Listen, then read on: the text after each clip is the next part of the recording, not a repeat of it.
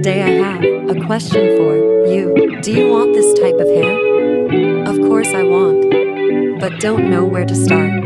If you have rough, frizzy, or damaged hair and you want to achieve beautiful and shiny hair, then you are at the right place. Let me share with you some very helpful tips to get rid of this type of hair without wasting time. Let's start. Starting up from the hair wash routine. 1. Never wash hair like this. Only shampoo the roots and condition the ends and use a good hair mask according to your hair type. And if you have straight fine hair, then don't comb your hair when it's wet.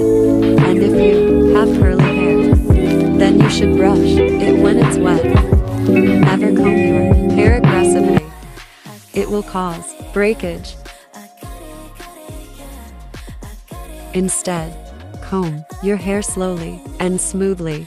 Wear protective hairstyles, such as braids and low buns. Wear protective hairstyles, especially when you are sleeping. Also use a silk pillowcase. Avoid using much heat. It will cause dry and frizzy hair. And no one likes dry and frizzy hair. Always oil your hair before high wash.